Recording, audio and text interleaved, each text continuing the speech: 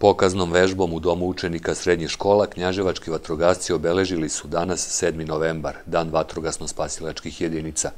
U ranim jutarnjim časovima simulirano izbijanje požara u domu, a u minutima koji su usledili proverena je spremnost vaspitača i učenika za adekvatnu reakciju u kriznim situacijama sa jedne i brzine i veštine vatrogasne ekipe sa druge strane.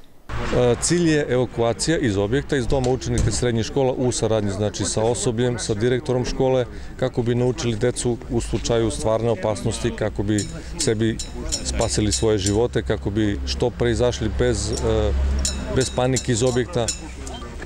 U principu jedna humanitarna akcija i naravno i za nas je ovo bitno da, što se kaže, malo se izvežbamo i tako u tom.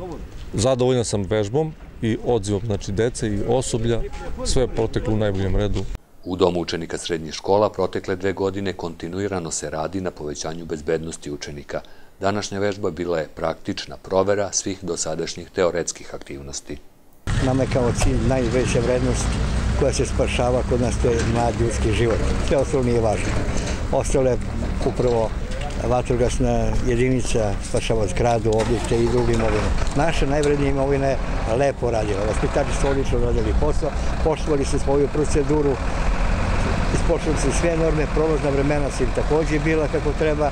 Normalno to uvek je, treba uvežbavati više i više, ali e, može se kaže da smo zadovoljni kako je ovo ispalo za prvi put, da je stvarno solidan rezultat. Vežba u domu bila i prilika za kraće predavanje o vatrogasnoj službi i postupcima u slučaju požara i nesreća.